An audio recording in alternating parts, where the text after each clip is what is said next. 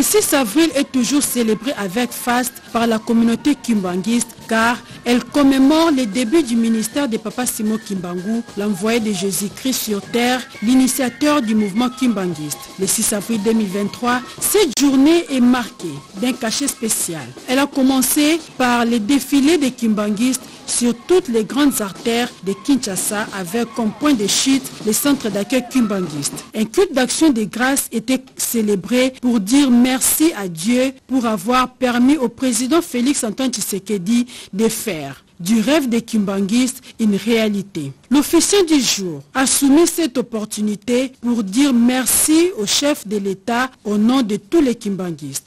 Dans son homélie tirée des psaumes 81, il a fait le parallélisme des écritures saintes et le combat de Papa Simo Kimbangu pour la libération du peuple noir un combat d'éveil de la conscience africaine. Comme tous les Kimbangu, je suis très heureux d'être là parce que j'appartiens à une génération exceptionnelle.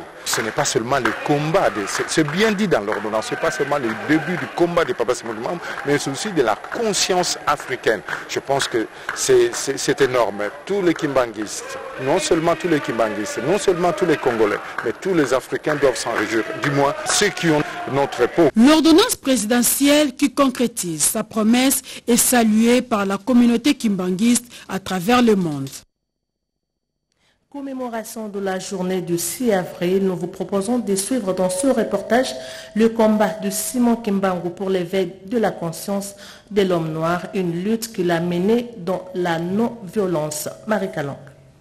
Né en Kamba, dans le Congo central, en 1887, Simon Kimbangu est mort à Elisabethville, Lubumbashi, en 1951 à l'âge de 64 ans. Prédicateur et fondateur du mouvement religieux kimbanguiste en 1921, son combat dans la non-violence consistait à libérer l'homme noir de la domination occidentale. Ce réveil de la conscience africaine avait comme fondement le message prophétique qui stipule que l'homme noir deviendra blanc. Mais c'est pour la première fois qu'un chef d'État vient consacrer cette date. Tout l'honneur et tous les mérites à ces dignes fils du pays, le président de la République, mais aussi à ces grands héros, Simon Kimbangu. Par cet acte, il nous revient, nous, les contemporains, les historiens, les autres intellectuels, à enseigner à ceux qui sont en vie aujourd'hui, ainsi qu'aux générations futures, l'essence du combat du prophète Simon Kimbangu et du kimbangisme. Son combat était fixé pour libérer l'homme noir, que nous soyons libres sur notre sol, sur notre terre. Pour vous approuver cela, vous pouvez voir que quel noir qui pouvait indexer le plan, le président actuel a indexé le président d'une grande puissance. Voilà qui justifie la reconnaissance de la journée du 6 avril par le chef de l'État, Félix Antoine Tshisekedi Chilombo, pour immortaliser le combat de Simon Kimbangu dans l'éveil de la conscience africaine. Les kimbanguistes ont leur façon de s'habiller. Pourquoi la couleur verte? Comment doit s'habiller une jeune fille? Autant de questions que notre consort Nano Umba a répondu dans ce reportage. Depuis la nuit des temps, la tenue vestimentaire vert-blanc qui couvre les fidèles de l'église kimbanguiste a toujours été au centre des polémiques. La couleur verte au niveau de l'église kimbanguiste signifie seulement l'espoir, l'espérance que nous devons avoir envers notre Dieu. Et la couleur euh, blanche nous devons purifier nos cœurs. Donc le cœur doit être pur. Rester pieds nus pendant les heures du culte sur les sites paroissiaux, c'est une tradition observée par les fidèles kimbanguistes. En voici l'explication. D'une manière symbolique, nous enlevons les souliers. Mais ce ne sont pas seulement les souliers, c'est enlever les péchés. Et quand nous enlevons les souliers, nous devons nous humilier devant le Seigneur pour dire que nous ne représentons rien. Couvrir la tête pour les femmes kimbanguistes, c'est un respect envers son Dieu. La femme ne peut pas être en contact avec le Seigneur si la tête n'est pas couverte. Ça, c'est biblique. Donc à chaque instant, la maman kimbanguiste doit voiler sa tête pour être en communion avec notre Seigneur Jésus-Christ. Les défilés pendant les déroulements du culte, une pratique qui accompagne les cultes kimbanguistes, occupe une place de choix.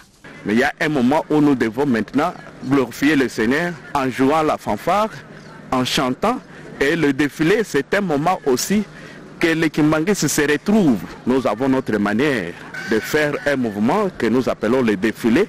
Et pendant ce défilé-là, Seigneur aussi opère de miracles. Vous pouvez être malade, mais en défilant, Dieu voit que vous êtes content et que votre cœur est vraiment pur, il vous enlève cette maladie. C'est pendant le défilé. Ce jeudi 6 avril 2023, les fidèles kimbanguistes célébreront la grande fête qui marque le début du ministère du prophète Simon Kimbangu, aujourd'hui couronné par une ordonnance présidentielle instituant cette date officielle historique sur l'ensemble du territoire national. Parmi les églises des Noirs qui ont accueilli avec joie cette commémoration, les Bangunza, cette confession religieuse a organisé un culte auquel a préparé l'ancien vice-ministre du plan Frédéric Kita. Un reportage signé Cédric Kenena. Le moment est historique pour non seulement la puissante église locale kimbanguiste, mais aussi pour les églises qui prônent la libération de l'homme noir, à l'image des Bangunza. Fiers, honorés par les chefs de l'État Félix-Antoine Tshisekedi, les églises de Noirs de par le monde ont célébré avec faste cette journée en signe de reconnaissance. Freddy Kita, ancien vice-ministre du plan, a communié avec les Bangunza. C'est un grand événement pour nous parce que nous avons tant entendu euh, ces jours. Et nous disons grand merci au président de la République, euh, Félix-Antoine Tshisekedi, pour euh, cette marque de reconnaissance envers euh, ce grand prophète Simon Kimbangu, envers euh, tous les Kimbanguistes et surtout nous, les Noirs et Papiers à travers le monde. Aujourd'hui, nous sommes fiers d'être les petits-fils, les arrière-petits-fils de Simon Kimbangu. Ce grand combat qu'il a mené pour la libération de l'homme noir, la libération de toute l'Afrique noire. Et aujourd'hui, nous envoyons les résultats. Et nous faisons que dire merci à lui-même, euh, le grand prophète Simon Kimbangu, lui-même qui s'est donné corps et âme, qui n'a pas vu sa famille, la couleur de sa peau, mais il s'est battu pour la libération de l'homme noir. Le groupe religieux des Bangunza, qui magnifie l'identité de Noir, a sorti son arsenal de chants pour exhumer la mémoire de Simon Kimbangu. Dans les lois là-bas, les kimbanguistes ont également défilé. Regardez. Ville de Colosie, ce jeudi 6 avril 2023, la communauté kimbanguiste a gagné les artères à travers une caravane pour célébrer le 102e anniversaire de l'église kimbanguiste et surtout la reconnaissance du combat de Simon Kimbangu et de la conscience africaine qui désormais seront célébrés ce 6 avril comme une journée fériée.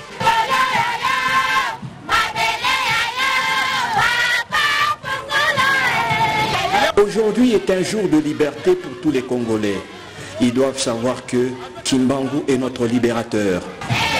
Le secrétaire provincial ad intérim de cette communauté, le révérend Moussumba Chinga, remercie ainsi le chef de l'État Félix-Antoine Tshisekedi pour cette reconnaissance.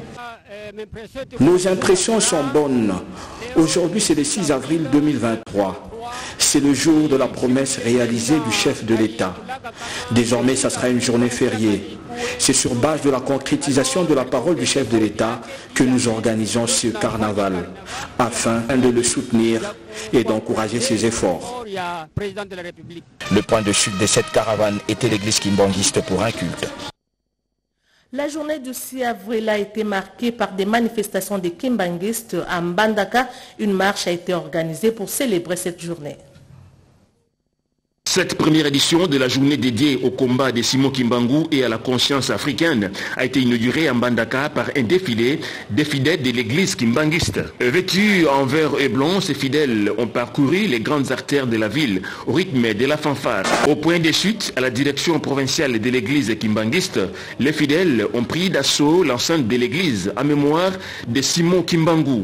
À travers leur visage s'illuminait une joie immense pour l'acte de reconnaissance pris par le président de la République Félix Antoine Tshisekedi de décréter la journée du 6 avril, journée chômée et payée, en mémoire de leur chef spirituel, Simon Kimbangu. Le gouverneur de l'Équateur, Bobo Boloko, entouré de membres de son gouvernement, a marqué de sa présence cette journée historique. Et une façon pour lui de reconnaître non seulement les combats menés par cet homme de Dieu pour la libération de la RDC, mais également pour la libération de l'homme noir.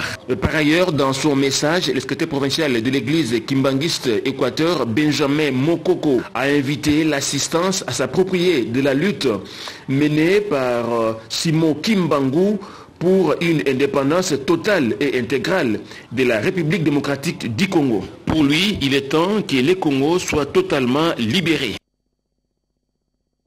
La date du 6 avril décrétée chômé et payé sur toute l'étendue du territoire national continue à faire de réactions dans le chef des Congolais. Euh, Christophe Kisolokele réagit au micro des dieux. Merci Kanza. C'est une joie euh, immense parce que ça a beaucoup duré. Euh, ça fait 103 ans que nous attendions cet événement.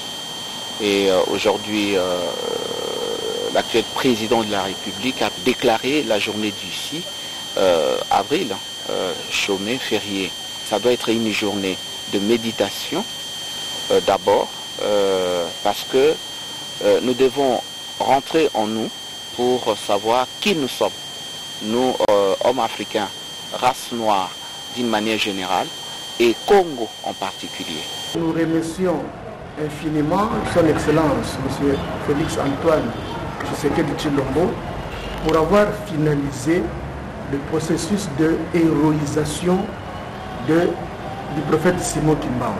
Que nous sommes totalement convaincus, le même processus sera aussi finalisé en ce qui concerne euh, le président Joseph Kassavou. Si on sait qu'il y a des personnes qui se sont sacrifiées, qui ont été prêtes à accepter la mort pour que nous devenions indépendants, c'est ça l'enseignement. Et que aujourd'hui ou demain, si la génération qui se lèvera sera prête à continuer le combat de Simon Kimbangu, ça veut dire que cette indépendance totale, nous l'atteindrons. Aux fidèles Kimbangi, je leur dirais de prier, de prier encore plus fort pour que cette quête vers laquelle nous tendons se réalise. Simon Kimbangu étant le premier, le premier de tous les prisonniers politiques congolais, il a fait un parcours très difficile, c'est ce qu'on appelle les calvaires que Jésus-Christ a traversé. Et lui, toute sa vie, il a traversé ces, calvaires-là.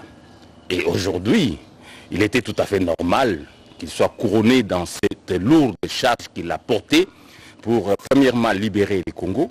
Parce que, souvenez-vous, tout de suite après sa mort, l'enclenchement des indépendances africaines a commencé. Et qu'aujourd'hui, ce n'est qu'un couronnement. Atelier de concertation interministérielle sur les préparatifs de la rencontre de Brazzaville sur l'engagement politique de l'Afrique des jeunes éduqués en bonne santé et épanouis. C'est la ministre en charge de personnes vivant avec handicap qui a présidé la cérémonie d'ouverture. Christine Lenzo et Simon Kakoulon au signe ces reportages. Cette concertation interministérielle prépare la participation efficace et active de la RDC à la cérémonie de proclamation de l'engagement de l'AOC qui va se tenir bientôt à Brazzaville. Au cours de cette rencontre organisée à l'hôtel Memling par l'UNESCO, les experts ont réfléchi sur le niveau d'engagement de la RDC en matière de l'éducation à la vie familiale et de l'offre de services de santé sexuelle et reproductive de qualité pour les jeunes et les adolescents. Il est d'abord question d'examiner et valider les données et les conclusions du pays sur la situation des adolescents et des jeunes en ce qui concerne euh, les grossesses des adolescents, le mariage des enfants, le VIH, et l'éducation.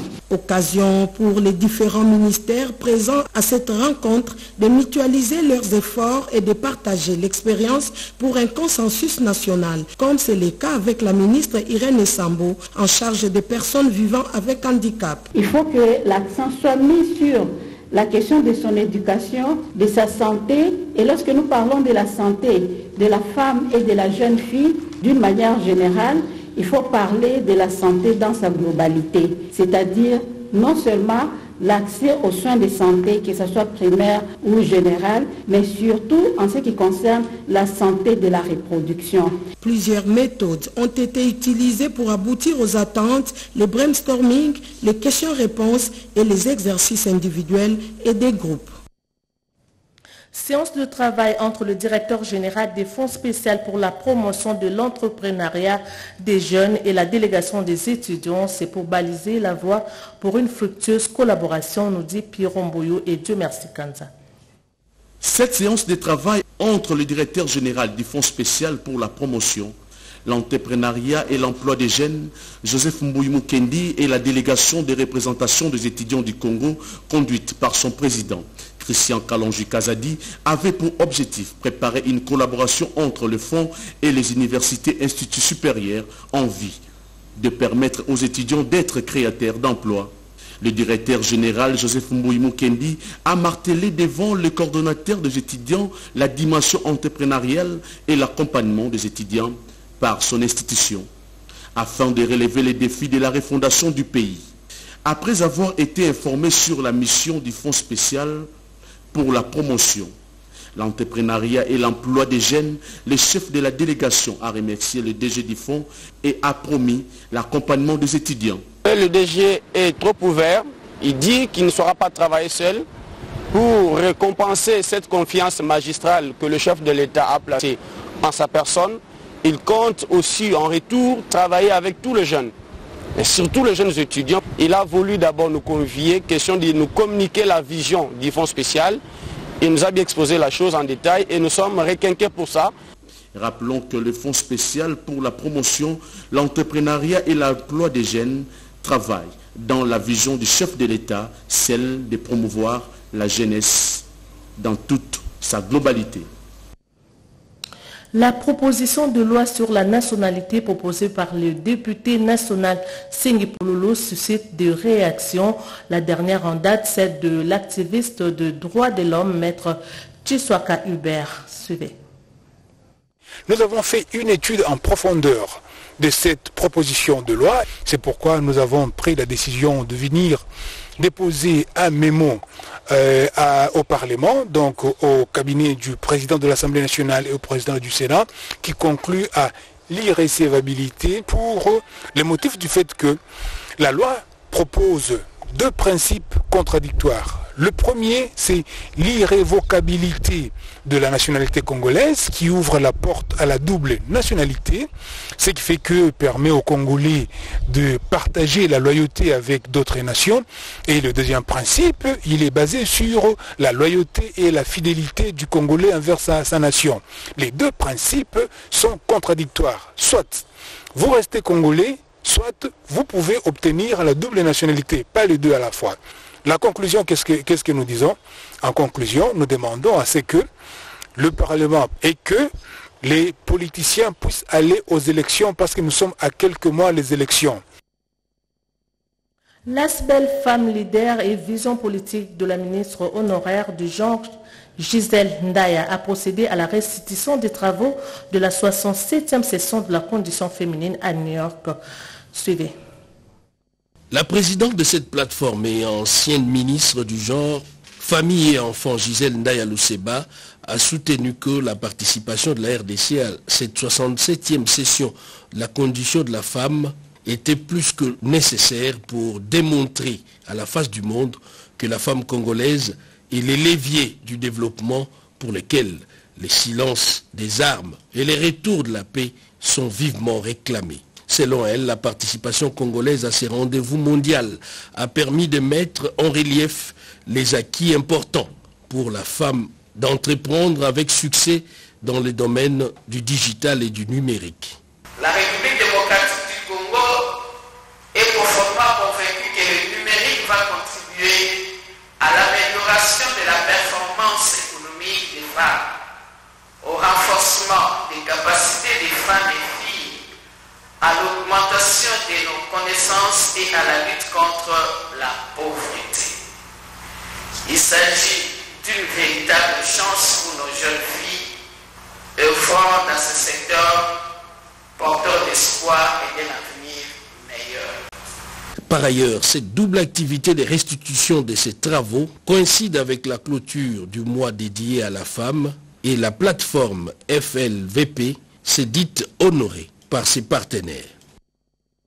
Plus de 400 joueuses de Nzango moderne de la structure Force de frappe de 5 communes du Mont-en-Bas ont pris d'assaut le cercle récréatif Alliance franco-congolaise située dans la commune de Lemba pour clôturer le mois de mars, mois dédié à la femme. Iverson Kababa, reportage.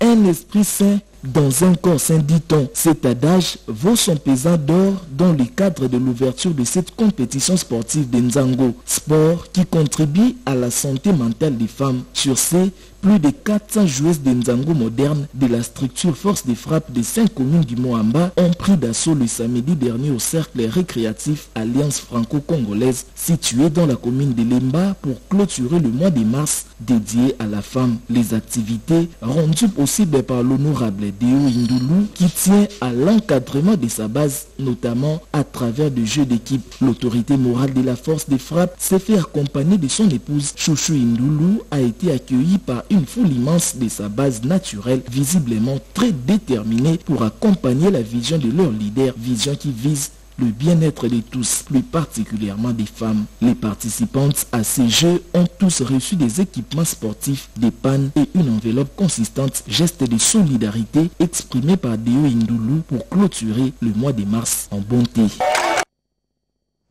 Dans le Congo central, une messe d'action de grâce a été dite pour commémorer la disparition de feu Mouswangi Kwanga Antoine, décédé il y a de cela trois ans.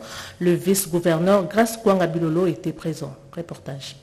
Pour commémorer la disparition du feu honorable Maswang Bilolo Antoine, décédé il y a de cela trois ans, soit du 30 mars 2020 au 30 mars 2023, le vice-gouverneur du Congo central, Ganso Bilolo, fils biologique de l'illustre disparu, a séjourné dans le territoire de Tchela, à Tchanga Nord, son fief électoral, où une messe d'action de grâce a été dite en mémoire le dimanche 2 avril 2023, laquelle a coïncidé avec la messe de Ramon. Au cours de son voyage, le numéro 2 de la province du Congo central a été accueilli samedi 1er mars dans le groupe Mambala, secteur de Luangou, par les membres de la fondation qui porte son nom, où il a eu à clôturer le mois de la femme avec les mamans de son Bell. Avant de reprendre la route, le vice-gouverneur Grâce Kwangabilolo a visité l'école primaire Epembala, où les travaux de charpente financés par la fondation Grâce Bilolo devraient débuter. Dimanche 2 avril, la messe de suffrage en mémoire du feu honorable Bilolo a été dite au sous-poste de Tchanganor, où la famille et le fidèle se sont rendus au mausolée pour s'incliner devant la tombe pour le dépôt de germes de fleurs. Sur son chemin de retour à Matadi, le vice-gouverneur a visité les travaux du programme de développement local de 145 territoires dans le secteur de Njobelouzi, notamment avec la construction du bâtiment administratif du secteur de Njobelouzi et d'une école primaire.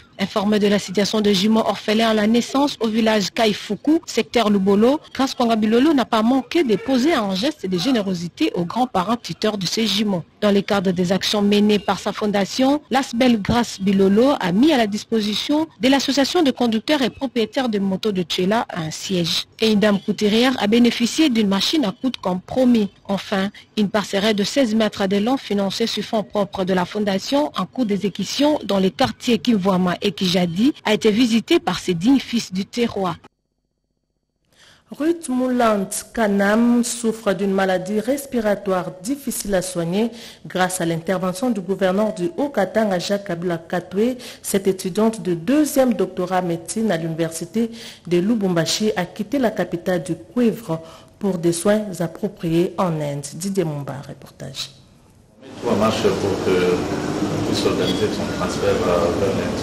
De la parole à l'acte, Ruth Mouland Kanam, étudiante en deuxième doctorat médecine à l'université de Lubumbashi, atteinte de la maladie de Takayasu où l'inflammation chronique des artères va suivre les soins en Inde grâce au gouvernement Kabula. À l'aéroport de Lalano, avant son embarquement à bord d'un appareil d'Ethiopian Airways, l'émotion était vive de la part de son père biologique en compagnie de sa mère. Ce geste humanitaire du gouverneur Jacques Ablakatoué à l'égard de ce futur médecin a touché le cœur de son père qui a remercié le gouverneur avant de prononcer des mots de bénédiction à l'endroit du premier d'entre les Haut-Katangais qui tient à l'accès aux soins de santé de qualité pour tous ses concitoyens. Euh, C'est avec euh, un grand plaisir euh, le gouvernement provincial du Haut-Katanga, par l'entremise du gouverneur Jacques Kaboula, nous a assistés il n'a pas hésité dès qu'il a eu, le contact malgré ses multiples occupations. Il s'est déplacé, il a vu, l'enfant, et il a promis et il a réalisé. C'est un homme de parole. Et moi, je le témoigne et je suis reconnaissant envers lui. Il faut rappeler que Ruth Mouland est atteint de la maladie du Takayasu qui l'empêche de mieux respirer. Cette pathologie est difficile à traiter au Congo démocratique. Mois de mars, mois de la femme à l'université de Mbujimaï, les filles et femmes de cette université ont été sensibilisées sur la pratique et l'importance du numérique en milieu universitaire et professionnel. Reportage de la journée internationale du droit des femmes à l'université de Mbujimaï. Les comités estudiantins de l'université de a organisé une journée d'échange en l'honneur des étudiantes pour marquer le mois de mars qui leur est consacré. Trois conférences, poèmes et danse, présentation du journal parlé par les étudiants du département de sciences de l'information et de la communication. Trois oratrices ont entretenu les chicamardes sur les thèmes pour un monde digital inclusif, les numériques et innovations technologiques dans un monde égalitaire. Dans son exposé, Mariam Kabedi Kaninda assistante en sciences de l'information et de la communication à l'université de Mbujimaï, a recommandé aux étudiantes de s'approprier les nouvelles technologies de l'information et de la communication et d'en faire un bon usage. Madame la professeure Nadine Kelekou a entretenu les participants sur l'usage efficient du numérique car aujourd'hui le monde est entre nos mains, il suffit de s'en approprier. Nous avons été en alerte et le monde a su faire face à la Covid-19. Madame Marguerite Njolo a insisté sur l'importance des études des filles qui contribuent considérablement au développement de la famille dans la société, car une femme instruite est une compréhension logique et rationnelle dans n'importe quelle circonstance qui puisse arriver. Quelques autorités politico-administratives ont pris part à cette manifestation.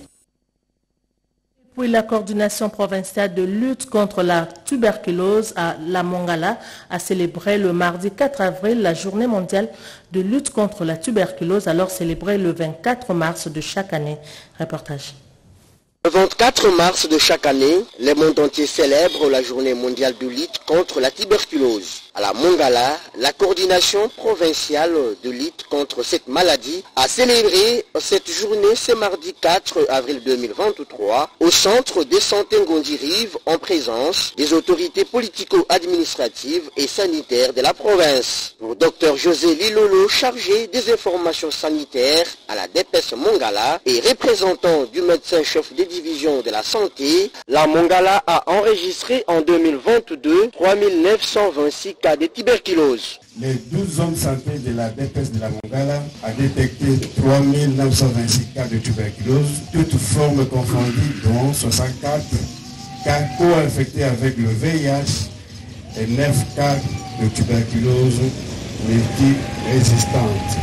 Pour améliorer cette détection, un effort de chaque habitant de la province de la Mongala devrait être fait en sensibilisant et en convaincant chaque membre de la communauté d'aller au centre de santé de diagnostic de traitement le plus proche pour se faire examiner. De son côté, Gabriel Mayembo, ministre provincial de la Santé, a martelé sur les dangers que porte la tuberculose au sein de la société avant d'exposer le piste de solutions pour éliminer cette maladie d'ici 2035. Il s'y est de rappeler que le thème national pour cette année, oui, ensemble, nous pouvons mettre fin à la tuberculose en prélude à la fête de Pâques qui sera célébrée le dimanche prochain, beaucoup de chrétiens s'apprêtent déjà à commémorer cet événement. C'est le cas de l'église évangélique témoin du Christ.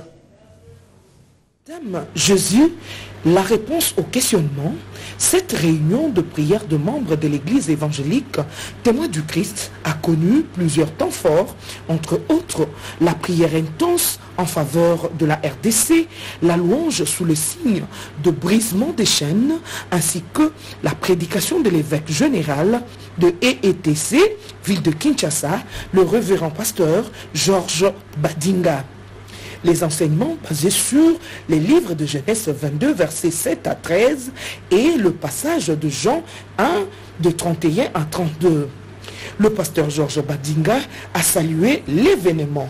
C'est notre façon aussi d'être devant Dieu pour consacrer notre pays, étant donné ce qui se passe, afin que le presse de paix puisse passer en action pour donner la paix aux Congolais et en particulier aux chrétiens de Kinshasa. Quand Dieu parle, il parle à l'impératif. Et c'est là, c'est spécialement pour les Congolais et pour ceux qui menacent les Congolais. Quand Dieu a parlé pour les Congolais, c'est-à-dire que Dieu a la capacité de faire la constitution pour ceux qui nous combattent, afin que ces combats soient ramenés chez eux. Et je rassure les Congolais que Dieu a déclaré que dès aujourd'hui, commencez à observer que Dieu donnera la solution de sa façon, de sa manière, pour que la paix revienne à l'Est, pour tous les Congos. De cœur avec lui, ensemble avec lui, nous luttons, nous combattons par la prière. Et comme c'est lui, l'autorité de, notre, de ce, de, ce, pays, nous disons que nous filmons à ce moment-là au stade avec lui. Et nous continuons, ça c'est notre manière de lui porter secours. Et lui disant que si le front diplomatique de l'armée, tout, mais qu'il puisse vraiment faire un effort d'espérer que la victoire et la paix reviennent à Dieu.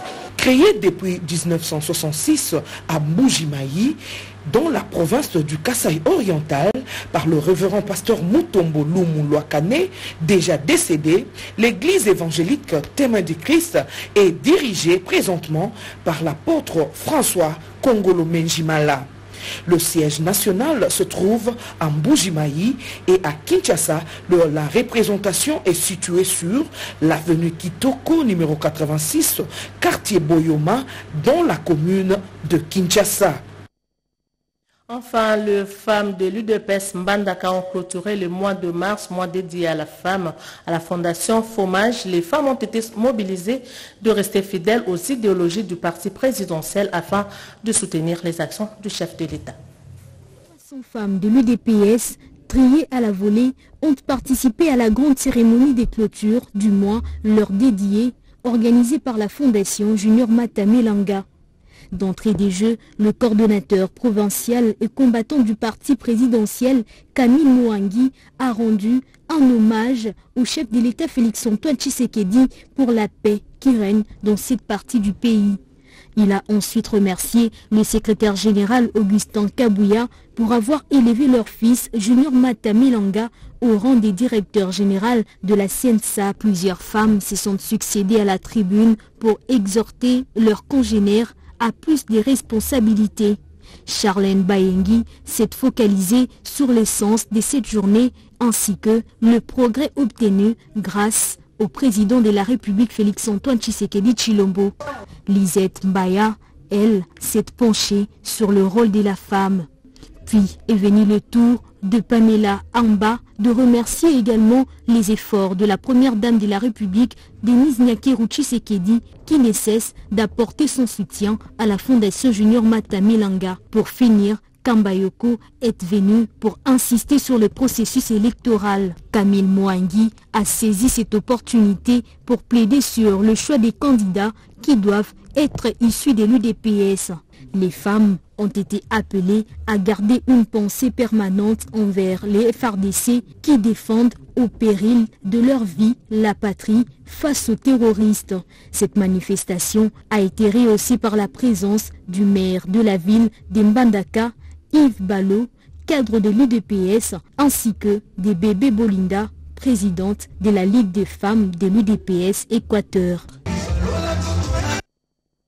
Fin de ce journal, mesdames et messieurs, merci à vous de l'avoir suivi.